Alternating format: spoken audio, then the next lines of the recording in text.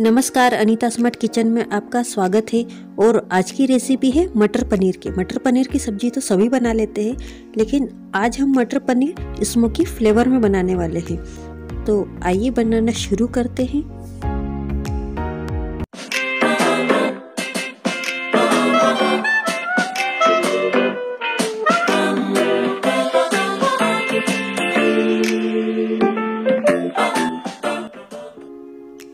सबसे पहले कढ़ाई में हम दो चम्मच तेल डालेंगे। तेल के गर्म होने पर तीन प्याज रफली कटे हुए और अदरक और 10 से 12 लहसुन की कली और दो बड़े बड़े कटे हुए टमाटर, मूंगफली के दाने और खोपरे का टुकड़ा और दो चम्मच सफ़ेद तिल इन सबको अच्छे से मिक्स करेंगे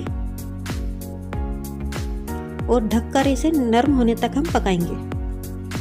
तीन से चार मिनट पका लिया हमने और ये नरम हो चुके हैं। इन्हें हम ठंडा होने के लिए प्लेट में निकाल लेते हैं। मसाला ठंडा हो चुका है। इसे हम मिक्सी जार में डालकर पीस लेते हैं। गरम गरम को ना पीसे। ठंडा होने पर ही पीसे इसे।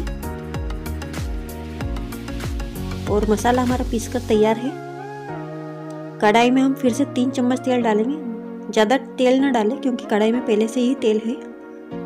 तेल के गर्म होने पर आधी चम्मच जीरा, एक तेज पत्ता दो लौंग और तीन चार काली मिर्ची डालेंगे।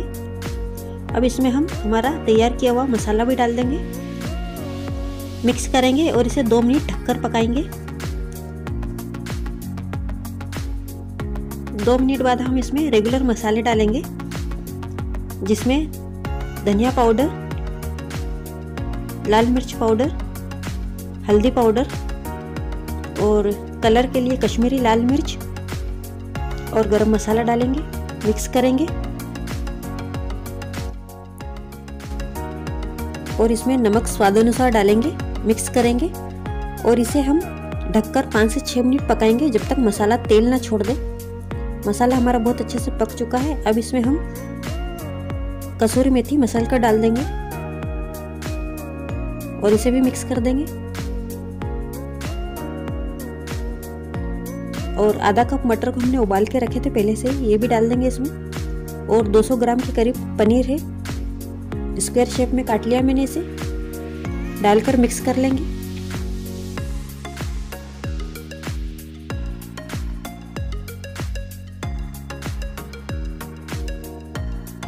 अब इसमें हम थोड़ा सा पानी डालेंगे।